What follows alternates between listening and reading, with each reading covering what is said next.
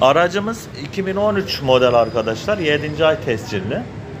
Bu aracın parça e, tarihleri 5. ay. Yani 2013'ün 5. ayında üretilmiş bu araç. Arka iki kapımız hatasız boyasız iki kapı 2014 model bir araca ait. E, boyasız hale getirmişler. Arka iki kapıyı çıkma takmışlar. Fakat şöyle bir durum var. Bakın şu ön kapımız 2013 model. Biz bunların parça kodlarını içeriden tabi kontrol ettik tarihlerini. Sadece e, ispat amaçlı gösteriyorum. Komple camıyla beraber takmışlar. Şöyle bir durum var. Aracımız trend paket. Arka camlar orijinalde renkli değil, siyah değil. Takılan kapılar titanyum paket bir araca ait. Orijinal siyah cam.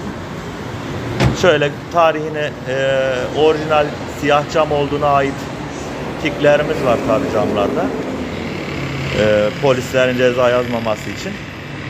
Bakın arkadaşlar vidalarda hiçbir şekilde oynama yok. Hiçbir şekilde sök tak yok. Bu parçalarımız değişik. Çok dikkat etmemiz lazım.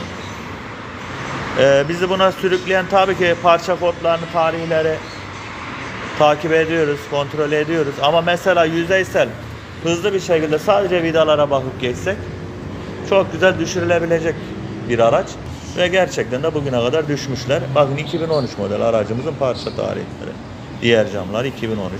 Ön kapımız orijinal 2013 model.